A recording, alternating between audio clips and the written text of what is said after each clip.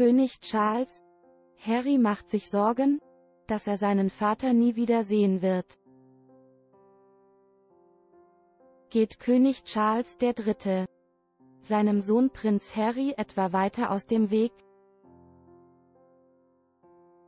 Laut Palast-Insidern soll sich der Herzog von Sussex mittlerweile darum sorgen, seinen Vater nie wieder zu sehen. König Charles? Will er Prinz Harry nie wiedersehen? Absagen über Absagen?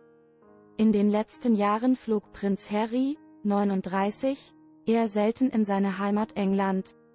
Doch wenn er dort war, wich Vater König Charles III. 75.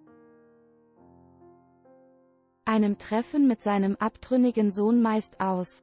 Mal hieß es, der Terminkalender des Königs sei schlicht zu voll. Mal befand er sich selbst nicht einmal im Land. Zuletzt sollen sich Vater und Sohn für wenige Stunden gesehen haben. Nachdem der 75-Jährige seine Krebserkrankung öffentlich gemacht hatte. Damals war Harry direkt nach England gereist um dann nicht einmal 24 Stunden später schon wieder im Flieger zurück in die USA zu sitzen. Auch jüngst schlug Charles ein Treffen mit seinem Sohn aus, und das soll den 39-Jährigen zunehmend beunruhigen. Harry ist untröstlich und macht sich Sorgen, dass er seinen Vater nie wieder sehen wird, verriet ein Palast-Insider nun der amerikanischen OK. Ex-Butler behauptet, ist ein Zeichen dafür, wie sich die Dinge verschlechtert haben.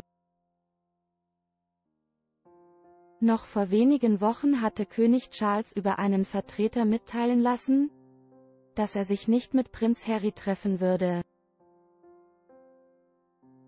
Während der sich in England befand. In dem Statement hieß es, als Antwort auf die vielen Anfragen und anhaltenden Spekulationen.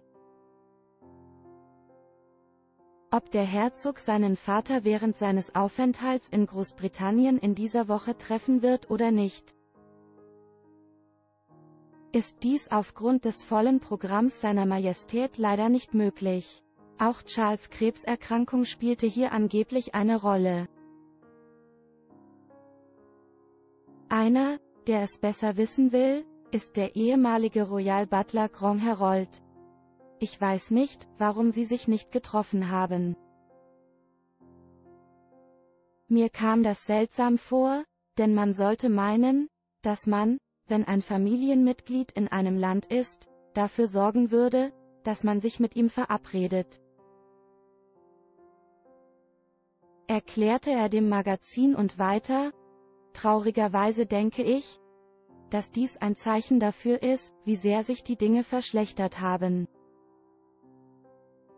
Und es zeigt, dass die Beziehung zwischen ihnen offensichtlich weiter abgenommen hat. Und das gleiche gilt für Prinz William.